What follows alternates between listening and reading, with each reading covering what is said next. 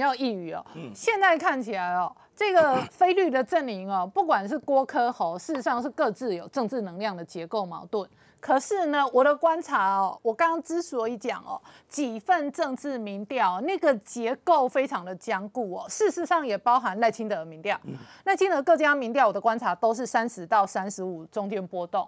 然后这里头的波动过程当中哦，不管其他任何政治事件，它事实上也是上有天花板，下有铁板。然后结构上呢，对民党现在执政八年的执政党来讲。相对弱势的，还真的是年轻的选票。那年轻的选票，现在也变成赖清德今天跑到赖哦这一个做那个网络攻防跟 AI 哦，他事实上在抢攻的方向跟这个战略。嗯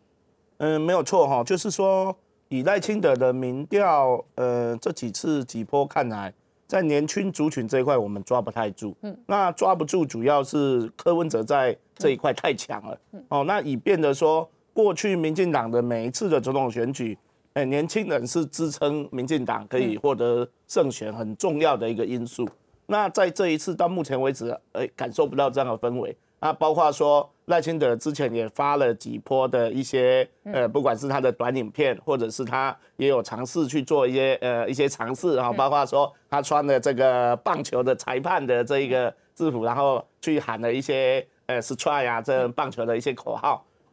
感觉还不错，因为赖清德有去尝试，而且看起来他也也很用心要去投入。刚刚那个 AI 赖刚刚就是新的了哈，这又是新的哈。好，今天我今天他到的这个赖哈，然后去做这个 AI 的这个 AI Lie，，哎 AI Lie 哈，就是可以把你的脸可以换在不同的造型上，所以你看有这个虎克船长，有这个。呃，虎克船长的哈，也有这个陈才佑哦，那也有包括这个韩星都敏俊，都敏俊哪一个？都敏俊是 不要为难了，应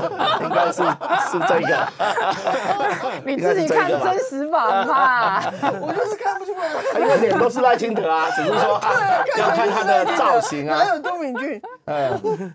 应该是有了哈，自己回去对一下。为难。